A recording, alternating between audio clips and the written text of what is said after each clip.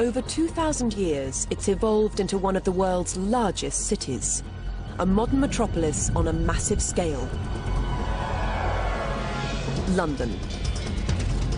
London is the product of massive feats of engineering and construction, from railways to bridges to cathedrals to skyscrapers.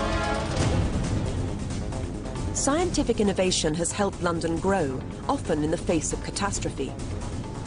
Now the city faces its greatest challenge, from the river on which it was founded, the Thames.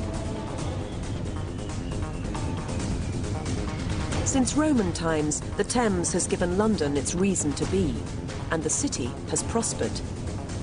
But the river that has nurtured London holds the power to bring disaster, unless science can tame it.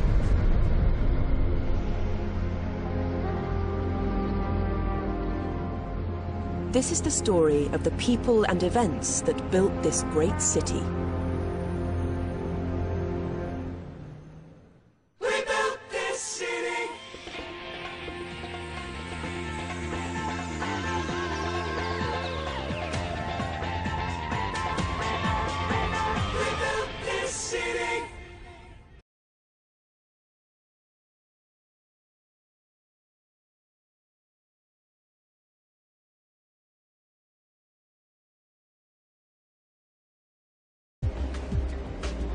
But this is no ordinary city. London dominates southern England. The city covers a massive 600 square miles.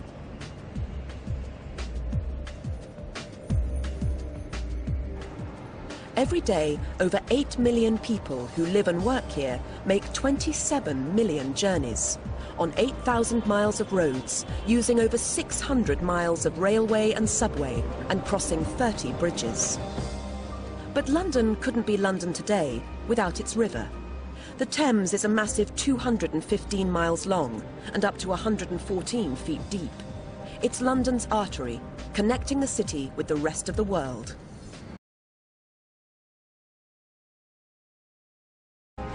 The story of London and its river begins some 2,000 years ago.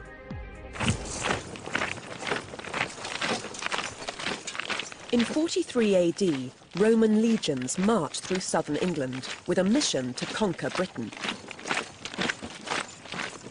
The Roman Emperor Claudius had sent 40,000 troops to quell the native Britons and establish a military base in the country.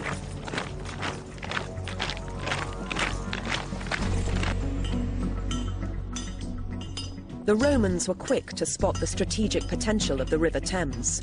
On the hills of the northern bank, they established a supply depot for their troops. London was born. But all this changed in 60 AD. The British Queen, Boudicca, swept through southern England, avenging the rape of her daughters at the hands of renegade Roman troops. After less than 20 years of prosperity, London was destroyed. It is Second time around, the Romans built more wisely. Archaeologists have uncovered a fabulous piece of Roman engineering, a giant city-wide wall. What makes the wall significant is that it's made of stone, not wood. The London Wall not only provided defence, its construction defined London's evolution from a town to a city. By 250 AD, London was home to 30,000 people. The city wall enclosed an area of over 300 acres. It defined the boundary of a planned and ordered city, a city with a grid of streets and imposing public buildings. For 200 years, the city lived through its first age. Then, in 410 AD, the Romans abandoned London as their empire fell. Without the Romans' commercial network, London fell into decline. But with its geographical advantages and mighty defences, it remained an attractive base for new rulers. In time, the abandoned city came back to life, and by the 11th century, it became the site for the country's royal government.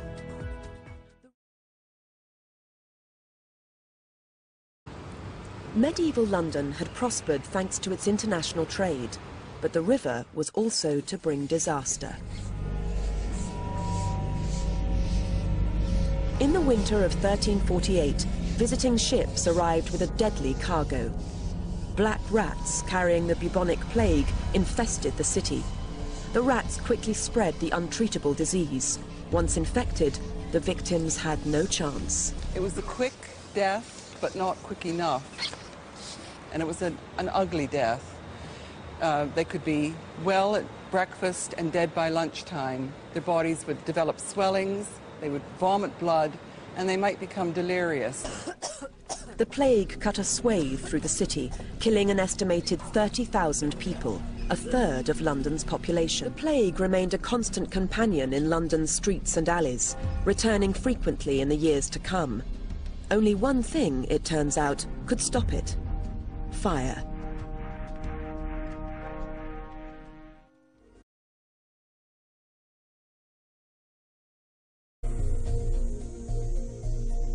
In the 17th century, London's population reached 200,000.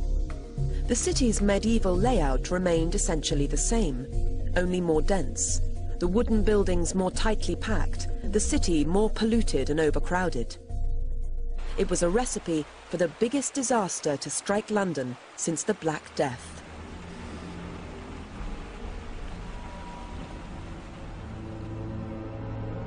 On Sunday, September the 2nd, 1666, sometime after midnight, in London's Pudding Lane, baker Thomas Farriner went to bed. He was certain he'd extinguished the embers in his ovens. But Farriner was wrong.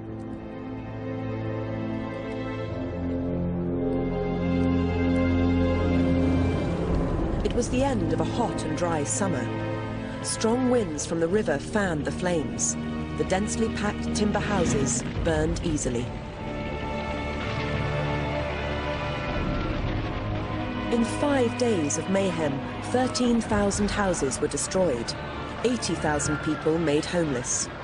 Only the presence of the River Thames stopped the fire spreading further.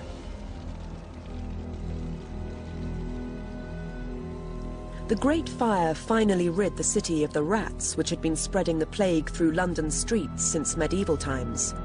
But this cleansing came at a terrible price. Nearly 400 acres of the capital lay in ruins. Many Londoners left, and the entire city centre had to be rebuilt.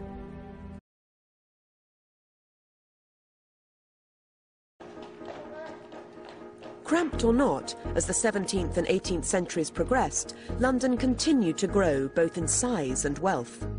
By 1801, with almost a million residents, London was by far the biggest city in Europe.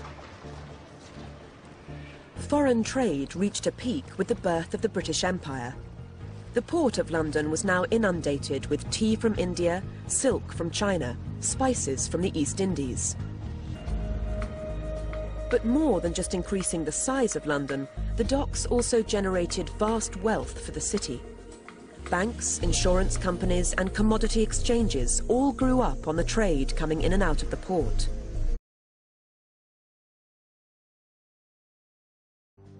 By the middle of the 19th century, London was already a world-class metropolis. But sewage dumped in the river polluted the city's water supply and helped the spread of a deadly disease, cholera. In 1848, an epidemic claimed no less than 14,000 lives. A decade later, in June 1858, the smell from the sewage, known as the Great Stink, became so bad Parliament was evacuated. The government was forced to act. As with the Great Fire two centuries before, crisis in London once again threw up a man of vision. This time, it was civil engineer Joseph Bazalgette. Bazalgette was chief engineer of the Metropolitan Board of Works, the body that oversaw the construction of public buildings in London. He had a plan to end London's public health problem. Channel the sewage through a network of underground tunnels to purpose-built pumping stations safely outside the city. Bazalgette's sewer system changed the face of London forever. Indeed, it's still in use today. Its scale is extraordinary. A thousand tunnels feed a network of main sewers. Bazalgette's efforts paid off. London's sewage system opened in 1865 and was an overnight sensation. Thanks to Bazalgette, Londoners enjoyed better health and a cleaner environment. But the city's engineers now faced a new challenge. London's docks had brought such vast expansion to the east of the city that a new river crossing was urgently needed. But any new bridge had to allow ships to reach the heart of London. The city ran a competition, and the winning design is today perhaps the city's most distinctive symbol, Tower Bridge. The bridge owes a lot to its medieval predecessor, London Bridge, with its starlings and elaborate twin towers that give the bridge its name. The genius of the design is that the bridge can act as a gateway, swinging open to allow tall ships to pass through. Stand by, bridge staff. Stopping road traffic. Eight years in the making, the bridge contains 11,000 tons of steel clad in Cornish granite and Portland stone. Magnificent steam-pumping engines and boilers generated the energy for the massive counterweights which lift the bridge open in just one minute. While Tower Bridge helped ease congestion in the east of the city, the rest of London was suffering. With a swelling population and large numbers of commuters, traffic in the mid-19th century was as heavy as it is today. The solution lay not on the streets, but beneath them, with the construction of the world's first underground railway system. This station in central London is in one of the original deep-level tunnels which formed part of the Piccadilly line. It's now unused, but the decaying walls reveal the secrets behind its construction.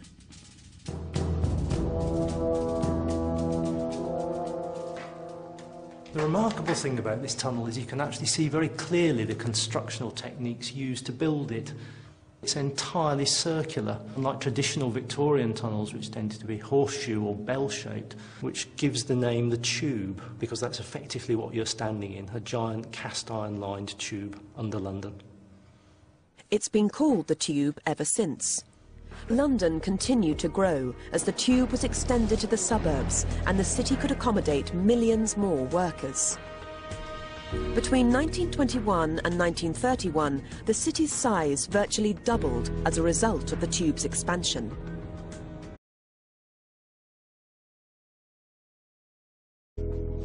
But as the decades of the 20th century rolled on, events soon cast a giant shadow over the whole city. War.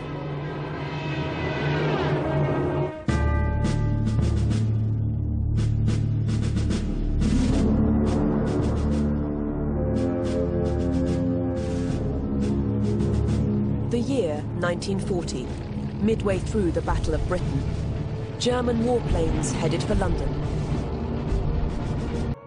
The bombers struck first at the city's commercial heart, the docks. Day and night they unloaded their deadly cargo of high explosives on the warehouses along the Thames. But the docks were not the only target. Soon the whole of London was suffering a nightly assault, known as the Blitz. To those who lived through it, not only was the city under attack, but its 2,000 years of history. The effect on the morale of the people of the Blitz itself was devastating.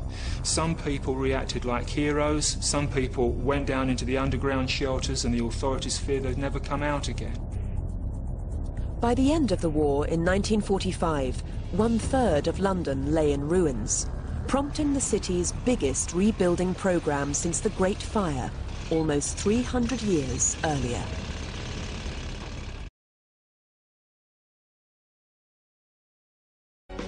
London is Britain's phoenix.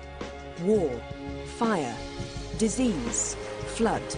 No matter what fate throws at it, the city always rises again. Central to its survival are timely innovations in science and engineering. And structures like the London Eye, the world's largest observation wheel, epitomise this spirit. London's final challenge remains the taming of its ever-powerful river.